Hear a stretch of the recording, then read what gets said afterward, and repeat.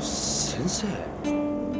俺先生みたいになりたくて教師になったんですよ。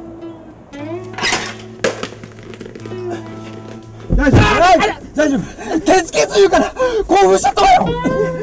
すいません何してるの？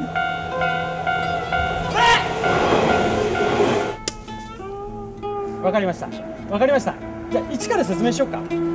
お父さんだけどいい加減にしとかないかんよ。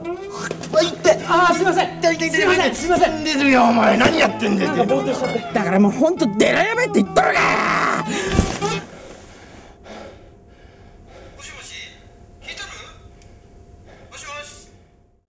誕生日おめでとう。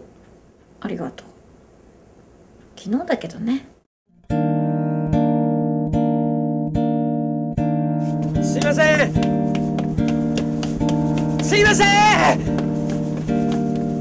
すいません。